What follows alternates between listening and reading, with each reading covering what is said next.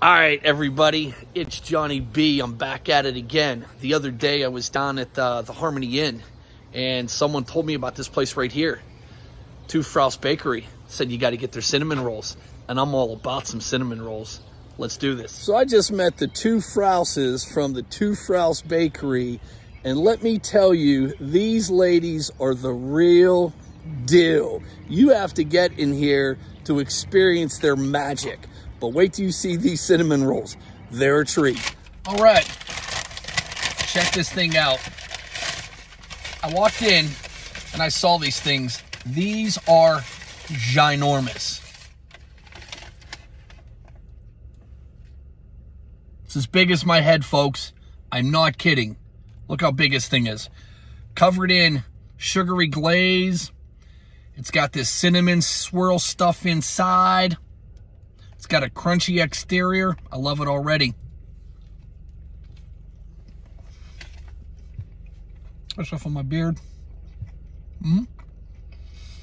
Mmm. Dude, that is fire.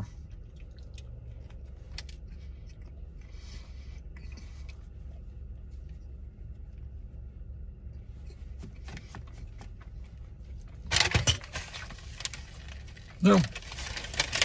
You guys probably aren't going to eat yours in a car just like I did and get sugary stuff all over you. But man, that cinnamon roll is fire. Listen, if you're out in Harmony slash Zelienople, Cranberry, if you're in driving distance of this bad boy, it is worth your while to get here and get one of those cinnamon rolls. They're bigger than your head.